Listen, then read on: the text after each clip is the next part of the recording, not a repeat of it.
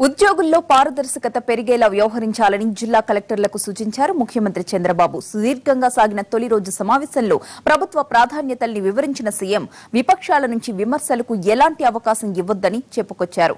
ఇవాళ జరిగే సదస్సులో పలు అంశాలు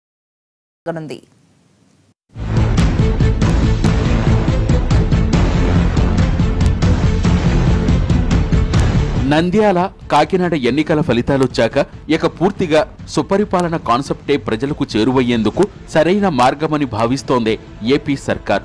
దీంతో ప్రజలకు లబ్ధి ఎక్కడా రాజీ పడకుండా అన్ని రకాల చర్యలు తీసుకోవాలని తొలి రోజు కలెక్టర్ల సదస్సులో సూచించారు సీఎం చంద్రబాబు. వ్యవసాయం హార్టికల్చర్ ఇసుక రవాణా టూరిజం ఐటీ గ్రామీణాభివృద్ధి వంటి శాఖలపై సమీక్ష జరిగింది. ఈసారి రాష్ట్రం పదిహేను శాతం వృద్ధి రేటు సాధించాలనే లక్ష్యం పెట్టుకో సీఎం సూచించారు. ఎలాంటి అవినీతికి ఆస్కారం లేకుండా చూడాలని ఆదేశించారు.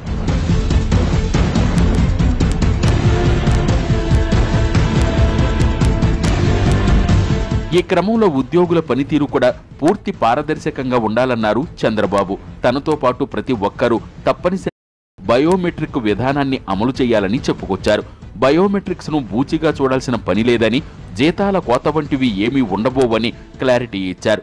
మీరు దాన్ని సబ్స్టాన్షియల్గా ఇంప్రూవ్ చేయాలి ఇంకా ముందుకెళ్ళాలి. Fifteen percent year on year ఉండాలి. డిస్టెంట్ నెంబర్ వన్ అన్ని స్టేట్స్లో ఉండాలి. కన్సిస్టెన్సీ వచ్చింది ఇంకా డిస్టెంట్ రాలా. మీకు ఒక ఐడియా కోసం.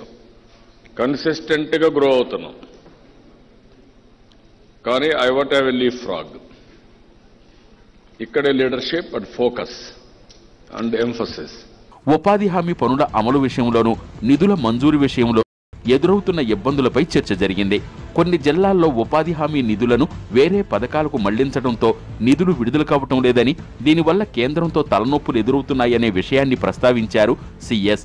ఉపాధి హామీ నిధులను ఇతర పథకాలకు మళ్ళించొద్దని జిల్లా కలెక్టర్లకు ఆదేశాలు జారీ చేశారు సీఎస్. ఇక ఐటీ రంగానికి సంబంధించి జరిగిన సమీక్షలో ఈ ఫైలింగ్ అమలుపై చర్చ జరిగింది.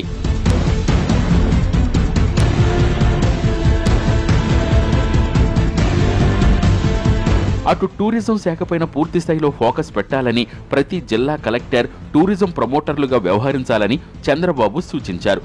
రంగానికి సంబంధించి ఏ చిన్న అవకాశం వచ్చినా వదిలిపెట్టొద్దని జిల్లా కలెక్టర్లకు దిశానిర్దేశం చేశారు సీఎం. ఇక ఇవాళ రెండవ రోజు సదస్సులో వివిధ శాఖల పనితీరును సమీక్షించడంతో పాటు శాంతి భద్రతల అంశంపై హోం పోలీసు శాఖ ఉన్నతాధికారులతో పాటు జిల్లా ఎస్పీలతో సమీక్షిస్తారు ముఖ్యమంత్రి.